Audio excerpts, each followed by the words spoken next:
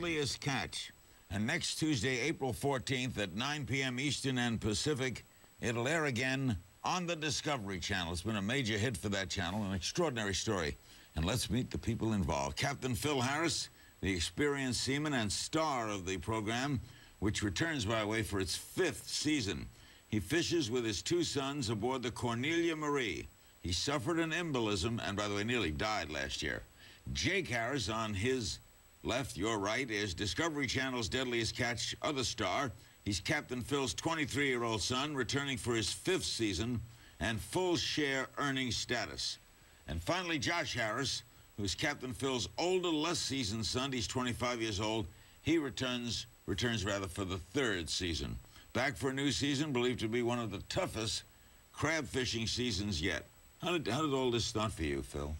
Well, with Discovery Channel, we were picking up some bodies. A boat had rolled over. A friend of mine actually rolled over, and the uh, bodies were in the water. And so we were looking for them and picking in the process of picking one up. And they filmed that. So then we got to town. They came over to the boat. They liked it and moved in. And was their idea to do Deadliest Catch? Yeah, they they started Deadliest Catch uh, in the beginning. It was just supposed to be a one-hour show, and that was it.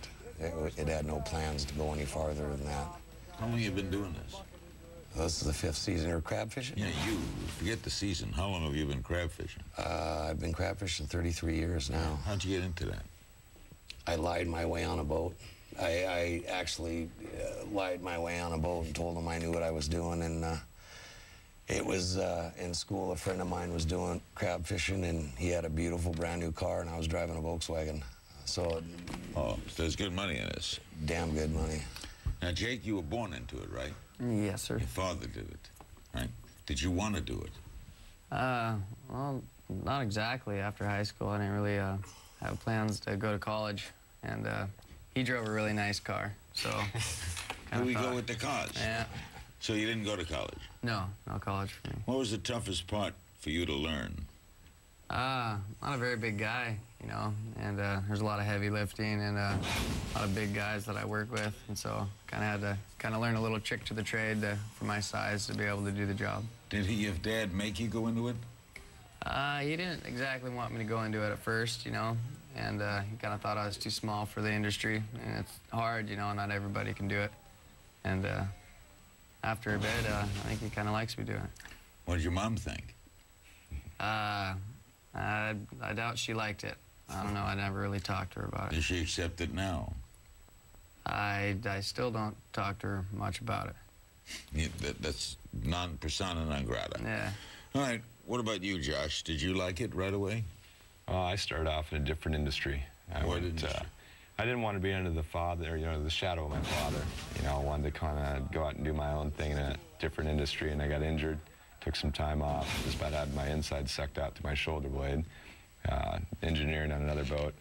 And then one day I, I got better a couple years later, and he said, uh, if you want to be a man, you know, come out and prove yourself. Let's see it. Your brother can do it. You know, can you? And so that was just kind of the fire underneath my butt.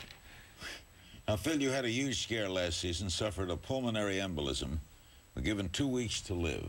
Well, yeah, it, it was kind of serious. We, Where were uh, you? We were in the middle of a storm. It was blowing about 100, and I was launched out of my bunk up against a wall. And uh, I thought that I just broke some ribs. And so thing, I started spitting up a little bit of blood. And as the day progressed, it got worse and worse. And then all of a sudden, I think now the, the blood clot was going through my heart at the time, but it felt like a heart attack. And then a lot of blood started coming up. How long before you got to land? Took us, what, three days, I think? three, three days. days with an embolism. Well, yeah. The reason being, he didn't want to go in. He'd try to be the tough guy. Oh, we had know? mutiny at sea. Yeah. Make him go. Uh, we have a clip of uh, that horrible day at sea, talking about a near-death experience. Watch. Do you like crab fishing, other than the monetary rewards? You don't think about the money. It, it's something that's between you and, and the elements, and, and it gets in your blood. It, what makes a good crab fisherman? Catching crab. yeah, I mean, are there certain attributes? You need good reflexes. You need well, you strength. have to know what you're doing. Yeah, you have to. You know, you're you got five, six, seven guys on the boat, and you gotta. You're telling them when they can eat, sleep, go to the bathroom. Um, you stay up for days and days and days at a time without sleep. Our record is five and a half days without Without any sleep. sleep. Is there a, a crab season, Jake? Yeah, there's two of 'em. Uh, red crab, Opilio crab, and then uh, some boats fish bairdi crab, so three seasons. Where do you usually fish? Uh, our boat, red crab and Opilio crab. And where do you go?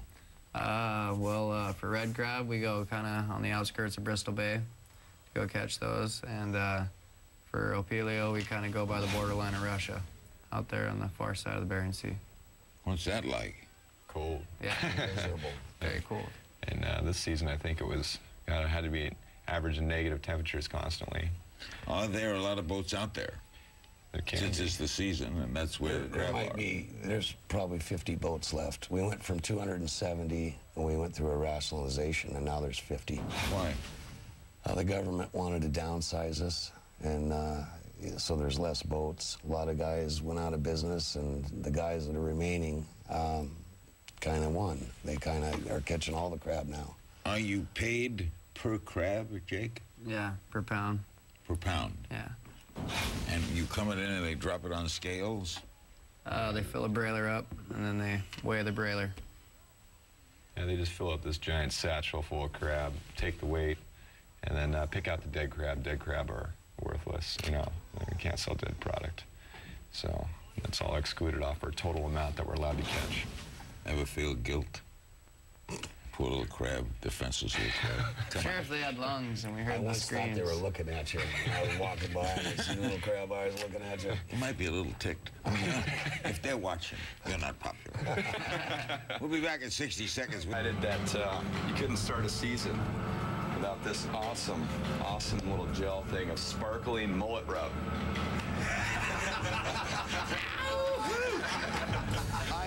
I hope that's not supposed to be me. Never leave home without it. Don't forget the Deadliest Catch airs next Tuesday, April 14th at 9 p.m. Eastern and Pacific on the Discovery Channel.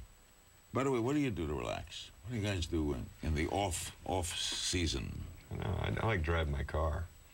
Your new spotless, beautiful car that you got. better believe it. You better believe it. You wouldn't believe it if I told you. I build bird feeders. You what?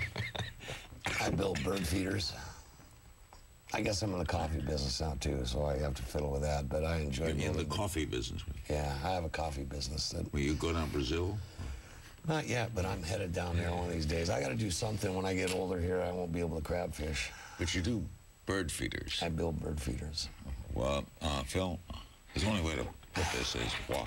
Well, actually, my wife at the time was screaming and yelling at me, so I grabbed the dog and I go out to the garage, and it was peaceful out there, and so uh, I build So bird always feeders. the wife. Yeah, That's, you said it's in your blood. it is in Catching. your blood. catching.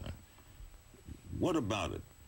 Well, it, it's something that my father's a fisherman, so we have another boat, a 50-foot boat that we all fish on. My father, myself, and the two kids here. Grandpa goes out. Goes out. Yeah, my dad's a big fisherman. What do you love about it, Jake? Um, I like the off time, you know. You go there and you do all your work, you know. You get it all stacked up, you get that, that paycheck, you know, and then uh, you're off for a couple months. So you, How many months a year you work? uh, well, lately I've been kind of taking some time off, but I usually work about 10 months a year. Yeah. And what is it in your blood now? Well, yeah, it's always been there. You know, I just uh, went through some obstacles, you know, and just kind of switched stuff up. I just never wanted to live under the shadow. I was always hard-headed. I don't want to live under the shadow of being Captain Phil Harris' son. So, You ever go out and not catch anything? No, I've never. I've come to the dock one time where we didn't gross $100,000, and that was once in probably 30 years. It took you how many days to gross that?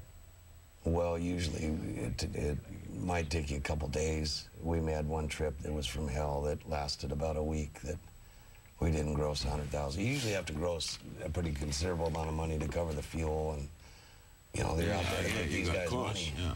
By the way, here's a scene where Captain Phil's boy. For all of our bait sacks, and uh, apparently we've seen growing legs. Oh, come on. I'm not going to turn around and spend another two, three thousand dollars on bait sacks because you guys are too lame to put them somewhere. Now go grab some help and go look find 'em. Obviously, you didn't even put them in this container. You drug them in